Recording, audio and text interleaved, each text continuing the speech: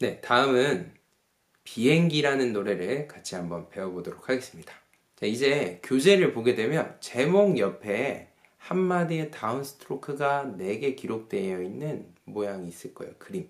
걔를 보게 되면 4비트를 의미합니다. 4비트는 뭐였냐? 한마디에 4번씩 연주하는 거. 자, 떴다 떴다 비행기를 연주해 볼 건데요. 이 노래에서 가장 많이 틀리는 게 이런 부분이에요. 떴다 떴다 비행기. 날아라 날아라 갑자기 가사 수대로 쳐요. 이렇게 되면 안 되고요. 무조건 4개씩. 떴다 떴다 비행기. 날아라 날아라 높이 높이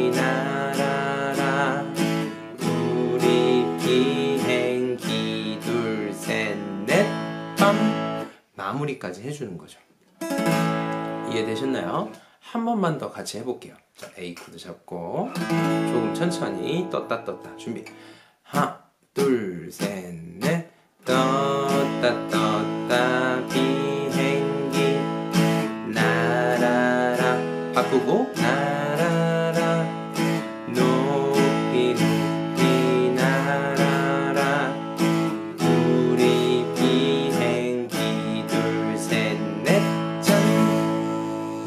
이런 식으로 비행기도 연습해 보도록 하겠습니다.